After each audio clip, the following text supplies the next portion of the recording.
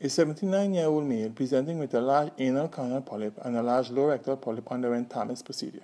A reusable transanal D-port is inserted together with a 10 mm 30 degree scope. The large anal canal polyp is shown as well as the lower rectal polyp. A monocurved grasping forceps is inserted at the 9 o'clock port orifice and a graduated straight grasping forceps at the 3 o'clock port orifice. The mobility of the two polyps is checked.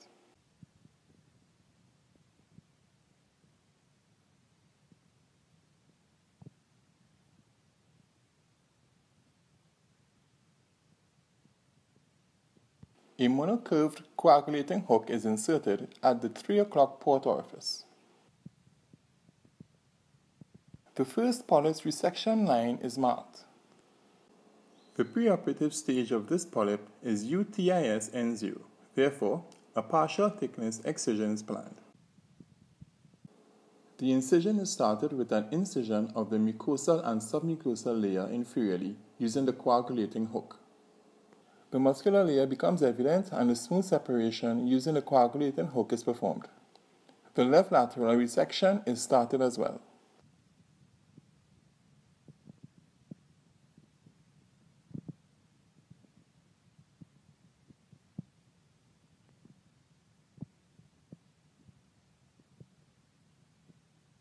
The surgeon is working under satisfactory ergonomics. Gentle dissection of the muscular layer is continued. The right lateral resection is performed as well. The superior edge is freed, respecting the muscularis propria.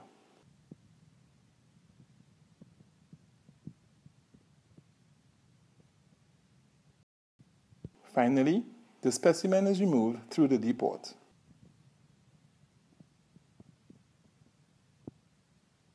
The remaining defect to be closed is displayed and assessed.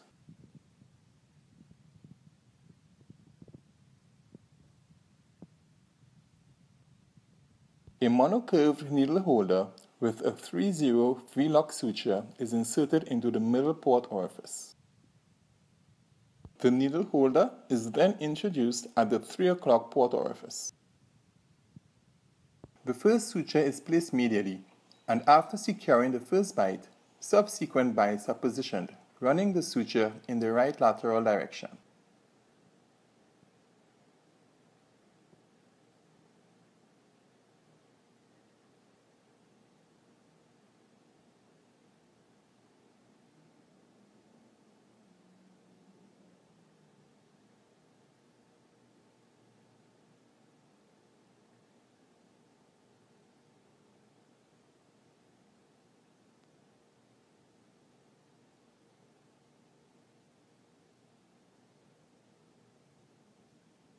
The surgeon continues to work under satisfactory ergonomics. A final bite is placed at the lateral corner of the flap.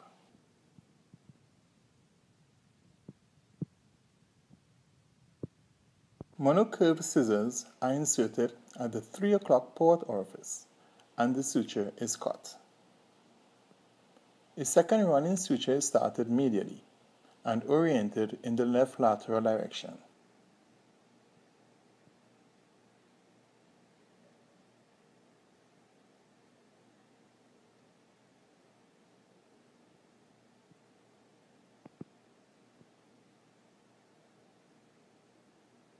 Different bites are placed until the end of the opening is reached.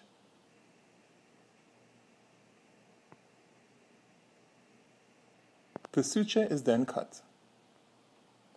The second polyp's resection margin is marked with the coagulating hook.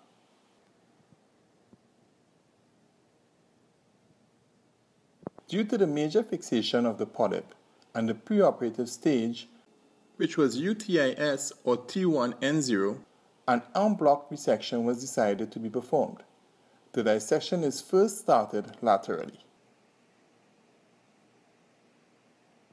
The coagulation hook is continuously used. Then the inferior edge is freed and the dissection is oriented superiorly.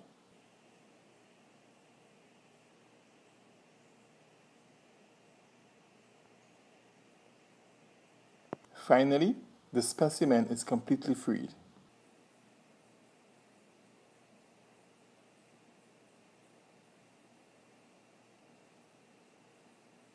This polyp is also removed through the D port.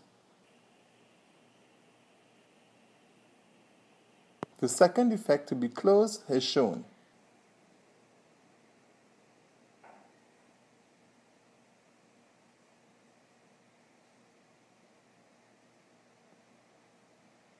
First running suture using the 3-0 V-Loc suture is started at the inferior corner of the opening.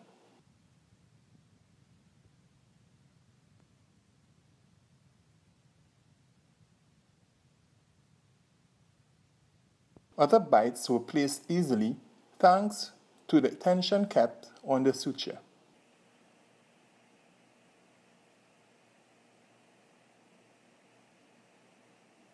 The second suture is placed at the superior corner.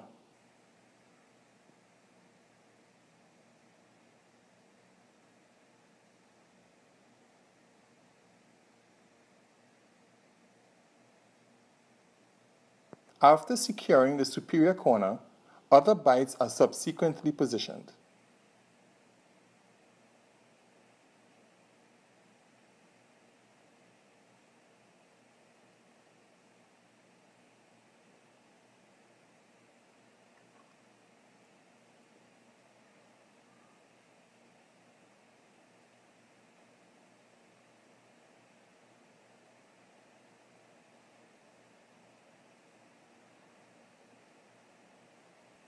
Finally, the two sutures were tied together.